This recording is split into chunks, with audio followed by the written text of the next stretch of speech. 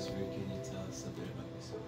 Good morning. My name is Miss Natisha Reed. I'm EOP counselor here at Farmingdale. I've been here for about a year and a half, but I have over 20 years of experience in social work and helping students and other clients, individuals.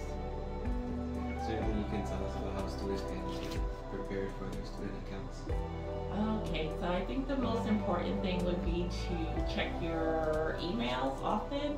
That's going to be your first line of communication. Um, so if you have an outstanding bill or charges or holds, all of that's going to go to your email. And so usually we'll have information as to where you need to go to follow up or what you need to do to resolve it.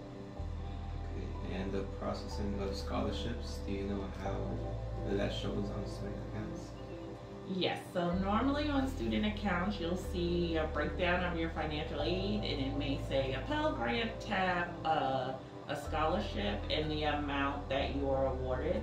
Um, and you can also refer to your student aid report just to compare it to. And payment plans?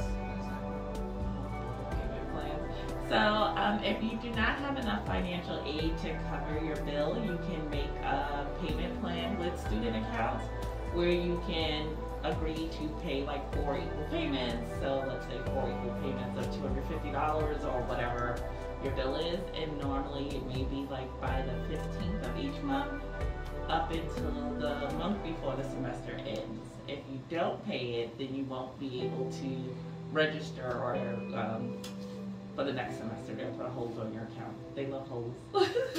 and when submitting documents, how long does a student have to wait to show that it's been submitted? I would say general rule of thumb is three to five business days, but I say allow up to two weeks. Okay, and when a student feels that they don't want to be in a class, how can they change that? So the college itself has deadlines for when you can drop or withdraw from a class. Normally, you can drop a class up until, let's say, two to three weeks after the class starts. After that, it would be like a withdrawal where you would need to get a form signed by your professor, and because you're an EOP student, normally us, or at least give us a copy. Okay, and with COVID 19, has there been changes in the payment plan in the past year? Um, not really any changes, I'll say. They did have the um, CARES Act award where students were given um, additional funding for money to help out with expenses and food and so forth just because everyone was having a really hard time and a lot of people lost their jobs. I don't know if the CARES Act will be released again. Okay, and can you tell us about the process of when students register for classes? Yes, so as freshmen, you were already registered, you kind of didn't have much of a choice. But in the spring semester, you should receive an email um, saying your window to register might be the week of March 13th. I'm just throwing out dates. Um, and so during that period, you would have the chance to meet with your academic advisor. Some of uh, the students might be meeting with Ms. Pettit, some you may have to go to your department and then you would meet with your advisor just to pick out um, a schedule based on what's required for your degree. And are there other things that students can access through their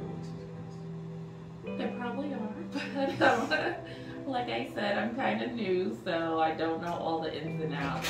But um, we have help to definitely get you through. Miss Pettit is a good resource, um, and when you meet with your counselor, uh, I'm going to say she because we don't have a male counselor, um, she would be able to kind of walk you through it together. Okay, and is there anything you can tell us about uh, Degree works is a very important tool because you're going to see all of the classes that you need for your degree and your progress towards that degree. So right now, if you look at degree works, it might say 1% complete. Um, and then as you move on, it'll go up to 50%, 90%, and that's kind of how you will know if you're on target to graduate. And it'll break down like what your general ed requirements are, what your major requirements are, and how much you've completed of each. And that's all the questions we have. Well, Thank you. thank you.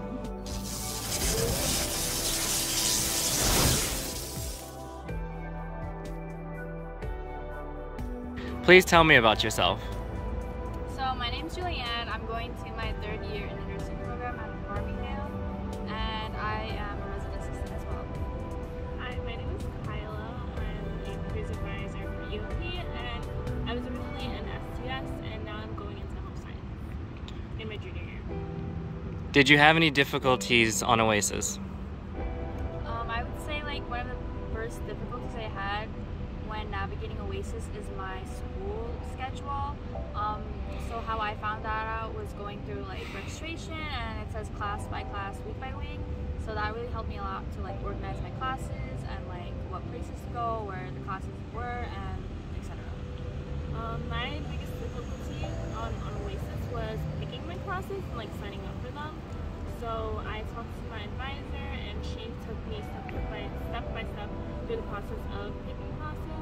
So it made it easier for me to go on forward um, picking classes. How was the process for financial aid?